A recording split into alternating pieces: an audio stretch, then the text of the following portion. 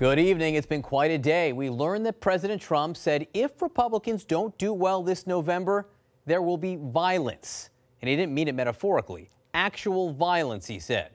John Berman here in for Anderson. The president said that to evangelical leaders, and we'll tell you more on that in just a moment. First, though, breaking news late reporting in the Washington Post on the possible fate of Jeff Sessions, Attorney General of the United States and the president's longtime personal punching bag. According to the Post, the president has, in recent weeks, privately revived the notion of firing him. This follows reporting on Friday from CNN's Jim Acosta and there is new urgency now because of what Senator Lindsey Graham said about Sessions earlier today. And I supported Jeff from the very beginning. He is a, uh, it's always been a friend. It's not about the lack of friendship. Uh, it's just that I see a relationship that seems to be deteriorating by the minute, and we need an attorney general that has the confidence of the president. And if that can be repaired, this relationship fine. But again, I just don't see that happening. Senate Majority Leader Mitch McConnell also weighed in, saying he has total confidence in the Attorney General. Oh, however, he's not the one who would fire him. The president would. The Post Josh Dawsey has much more on that. His reporting starts us off. All right, Josh, what are you learning? So we reported tonight that President Trump, on at least two occasions of the past month, has asked his lawyers about the wisdom of firing Jeff Sessions, his attorney general, and suggested that he wanted to fire Jeff Sessions. Obviously, his opprobrium and frustrations with Jeff Sessions are widely known. He has taunted him on Twitter. He has made fun of him in interviews. Jeff Sessions has fired back. Uh, the Wall Street Journal reported separately this afternoon that uh, five senators recently made a remarkable trip over to DOJ to convince Jeff Sessions to stay. Let me just make sure I get this straight straight. He's asking his lawyers who were representing him in a criminal investigation about right. the wisdom of firing the Attorney General of the United States? Right, and it all goes back to what the president sees as the original sin, the recusal from from Jeff Sessions from the investigation. Uh, when these various developments flare up, when there's an indictment, whether there's news the president doesn't like, whether there's even just a sharp amount of media attention on the probe, he blames Jeff Sessions maybe more than anyone else, uh, and he goes on uh, long tirades and rants about his attorney general. He has said to many people he wants his attorney general protect him, like he thinks Eric Holder protected Barack Obama and he is not, uh, you know, fond of having Jeff Sessions continue on the job.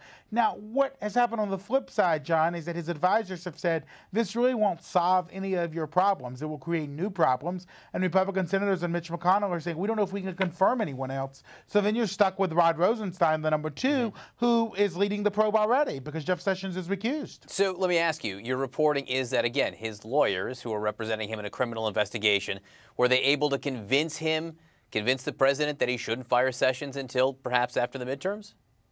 For now, though it's always a bit of a delicate dance on the White House. Advisors will say they've convinced the president to do not to do something, and then he will tweet it. Uh, the sense that we got from several days of reporting here, John, is that uh, the president is going to fire Jeff Sessions at some point. It's not going to last forever. The question is when. Yeah, it's not an if; it's a when.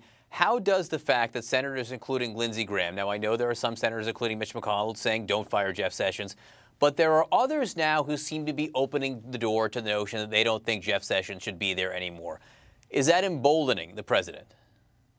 Well, it's hard to say. Uh, it is interesting that Lindsey Graham, Chuck Grassley, some other Republicans who are staunch proponents of Jeff Sessions and has defended him uh, repeatedly against the president's urges to fire him in the past are now saying listen, it's kind of inevitable. Lindsey Graham said today, hey, uh, Jeff Sessions, uh, he'll probably get a new attorney general. Chuck Grassley has basically alluded to that as well. Uh, we talked to a number of senators, my colleague Gabriel Pogrund did today, 10, 15 Republican senators on the Hill, and none of them felt that Jeff Sessions was, was safe. Hmm. So when you have a president who is being uh, not buttressed by his advisors to, you know, they're really trying to convince him not to do something, but he's sensing maybe there is a window here to do it. Uh, I think it does not bode well for the future of Jeff Sessions and the fact that, that Sessions, who has been something of a warrior for the president's agenda on immigration, on ICE, on other issues, uh, taking a lot of guff from the president, the taunts, the tweets, uh, now suddenly seems to be tiring of it a little bit. And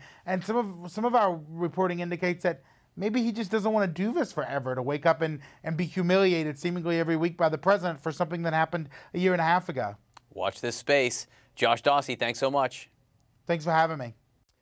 All right, let's talk about all of this, including what Lindsey Graham had to say. Something people quickly noticed was the complete opposite of what he once said about firing Jeff Sessions. Take a look at that. I'm 100% behind Jeff Sessions. The chairman of the Judiciary Committee sent a pretty chilling uh, tweet yesterday.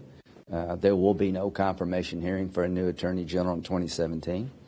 Uh, if Jeff Sessions is fired, there will be holy hell to pay. So from hell to pay to A-OK.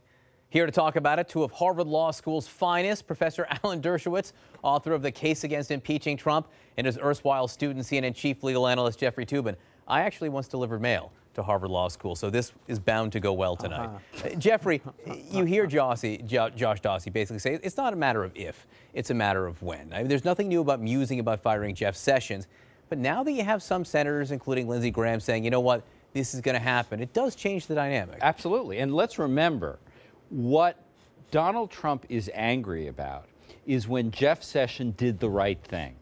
When he recused himself in the Russia investigation, which was absolutely the right thing to do, but Donald Trump doesn't think the Attorney General works for the American people. He thinks the Attorney General works for him, like Rudy Giuliani works for him. Jeff Sessions is now a dead man walking. The Republican Party is the Trump Party, and they will confirm, if they remain in the majority, whoever the president put, puts up. They, they, the, the, the dominoes have started to fall. Lindsey Graham, the other senators, they're not protecting Sessions anymore, and he's gone after the election. Well, we'll see what they do ultimately if, if and when there's a new nominee. Mm-hmm. One thing's clear the president has the power to, fi- power to fire him. No question. That can happen without the Senate. Whether or not they confirm, we'll see. Alan, before we get to that point, the president's asking his personal lawyers about this. He's asking, you know, Rudy Giuliani and Jay Sekulow who are representing him in a criminal case about firing the attorney general. Is that appropriate? Are those the guys you be going to? Well, certainly he is asking them because he wants legal advice to avoid obstruction of justice or giving ammunition in any way to Mueller. And so he needs advice both from his personal lawyers and probably also from the White House counsel. The White House counsel will tell him he's empowered to do it, but it's not a wise idea and then he wants advice from his personal lawyers, which he's entitled to get because he is under investigation, as to what impact this could have on the investigation. Now, let's remember this is deja vu all over again.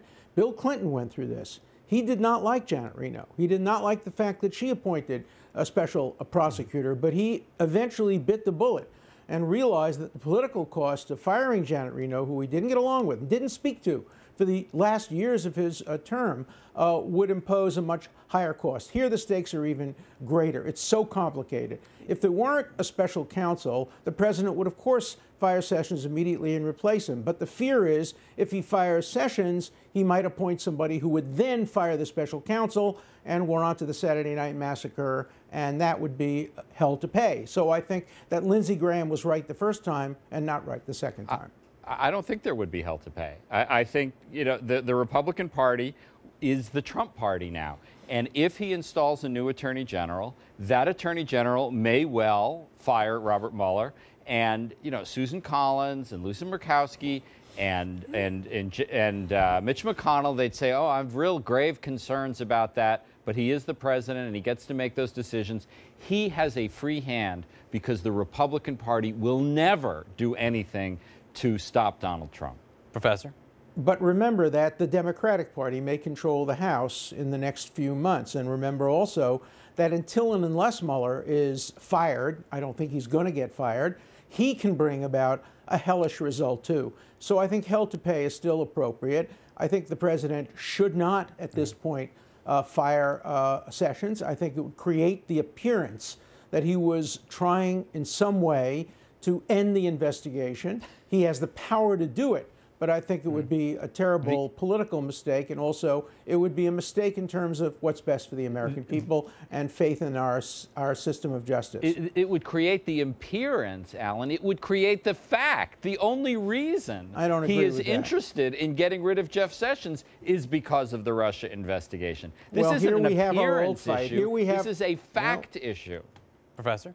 Here we have our old fight again. I do not think a president can be guilty of obstructing justice by engaging in a constitutionally protected act. But Professor, And that's different than what Jeffrey was about that saying. from the this is beginning of time. This is different, Yeah. Jeffrey. It's a I'll, very- I'll- I'll let you silence Yeah. that while I pose my question here. It was ringing just at the right time for me to get my word in here. Whether or not he has the right to fire Jeff Sessions is different than the reason behind firing Jeff Sessions. The president has I don't told agree us. with that. The pre- well, no. I- look, you can decide later on whether it's obstructing justice. You can't argue that the president has told us that he doesn't think Jeff Sessions should have recused himself and feels betrayed by the actions of Jeff Sessions. He's told us what he's I have no about. doubt about that. I have I have no doubt about that. And he never would have appointed Jeff Sessions to be Attorney General had he known that Sessions was going to recuse himself. My disagreement with Jeffrey, and it's a fundamental disagreement, and we may never know the answer to this, is that a president, in my view, can never be charged with a crime for exercising his constitutional authority, even if he's badly motivated, the way George H.W. Bush was badly motivated when he pardoned mm-hmm. Caspar Weinberger and the five other people. You, if the act is constitutionally authorized, it cannot at the same time be a crime. You can't probe the motive of a president in deciding whether something's a crime. Jeffrey disagrees, mm-hmm. and if he were in my class, we'd have a great debate about that, and I would grade him A plus for his uh, great arguments, even though I would think he might be wrong about it. Bad. I wish I had gotten the A plus in real life. Yeah, but- finally, finally getting the laudits he deserves there. Ultimately, it is in Jeffrey's opinion, Yeah. maybe not even your opinion, Professor, that matters here. It's going to be Robert Mueller's. It's what Robert Mueller chooses to argue along the lines of obstruction of justice. We will see. We do not know yet. And we it's also up to the court. It's up to the court eventually, not eventually, Robert Mueller. eventually, Robert although, although depending on the right? strength of what Robert Mueller writes, the deciding body might not be a court; it might be the Congress of the United States of America. So again, Mueller has a lot of power here if he chooses to use it.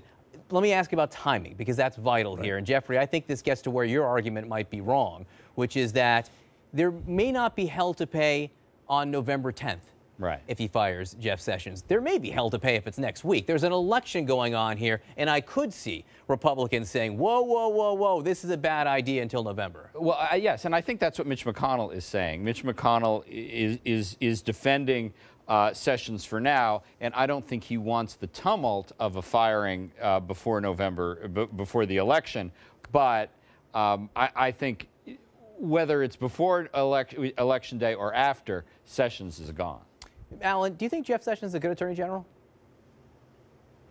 I think Jeff Sessions has been a good attorney general in many ways. Look, I don't approve of any of these policies. I don't approve of the immigration policies. I don't approve of the policy of uh, uh, preventing people from coming into the country based on countries. You know, if you're a Trump supporter, you might think he was a good attorney general, but as a liberal Democrat, no, I don't think he's a good attorney general any more than I think that the administration is a good administration on these issues. So you're asking the wrong person. As to whether he is a good person for Trump, he has had a mixed record. He's strong on immigration hmm. and he hasn't been, quote, loyal. But remember, there's another point, too. We have a very odd system in America in which we expect the Attorney General to be schizophrenic. As a member of the cabinet, he's supposed to be loyal to the president. But as the chief law enforcement officer, he's supposed to be loyal only to objective law enforcement. That's very difficult to do. Robert Kennedy had a tough time doing it. Many of the other attorney generals have had a hard time doing it. That's why presidents often have demand loyalists among the attorney general, and they may not be entitled to have a loyalist when it comes to the administration of justice. All right, tonight's episode of the soap opera of Jeff Sessions. Alan Dershowitz, Jeffrey Toobin, thanks so much.